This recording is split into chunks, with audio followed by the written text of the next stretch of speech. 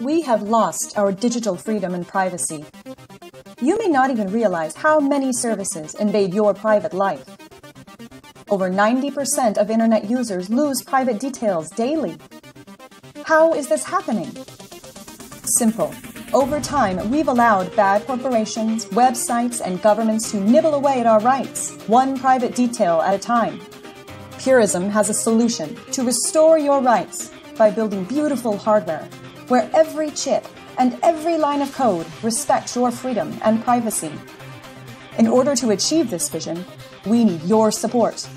Let's send a message that we collectively believe our rights must not be taken.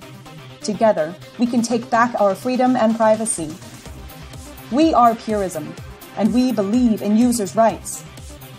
Will you join us?